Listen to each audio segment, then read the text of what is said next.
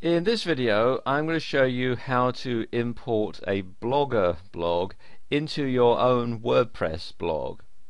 Something that puts a lot of people off from having a WordPress blog on their own domain is if they have another blog somewhere else they're going to lose all of the posts and so on that they've had on that other blog like if you had a wordpress.com blog or if you've got a blogger blog uh, but the latest version of WordPress and the latest installation of Blogger do allow you to move between Blogger and WordPress and I'm going to show you how to do that in this video.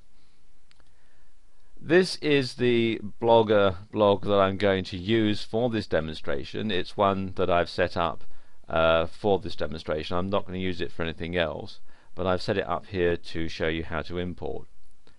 Okay, if I come back to the WordPress dashboard, you can see here in the Tools setting, if you come under here to Import, you can see there are various other formats that you can import into WordPress. You have Blogger or Blogroll or LiveJournal and so on.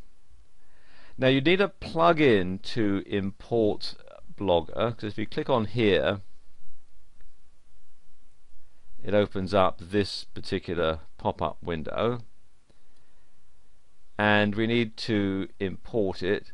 So what I'm going to do is instead of downloading and then uploading what I'm going to do is actually close this and go to the plugins page and click on add new. And I'm going to put here import blogger.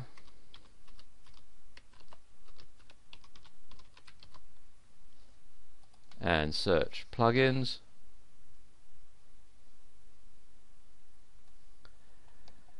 And you see there are several but the one that I want is this one here blogger importer so I'm going click here on install now and click on OK.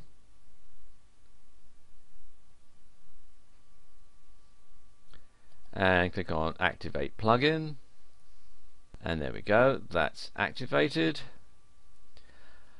Okay, now I need to configure it. So the first thing I have to do is go to my Blogger blog and to log in. So come here to sign in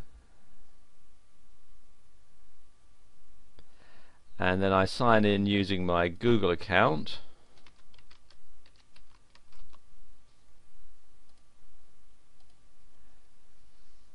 Like that. And there we go. Now that's logged in. You have to be logged in into your blogger account for this to work. Okay so now when I come down to tools and import. And click on blogger. You can see this is all set up now. So click on authorize. And I'm going to click on grant access. And there we are. And you can see it's telling me the blog name and the blog URL, the number of posts, there's only one and there's no comments.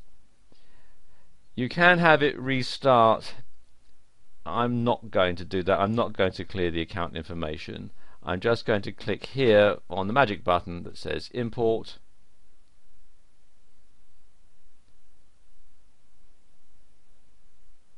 and there we go that's imported so now if I go to posts we can see, in fact, you what I'll do even better than that. I'll open up the main page in a new tab.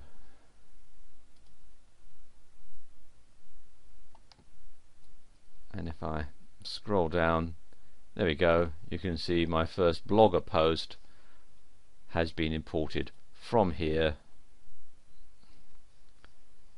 And if I go to to that, let's go to the uh, view blog. You can see my blogger blog is still there because I haven't reset anything but it's also now imported here into my WordPress blog. So there you go. That's how you do it and I'm sure you'd agree it's a very simple process all round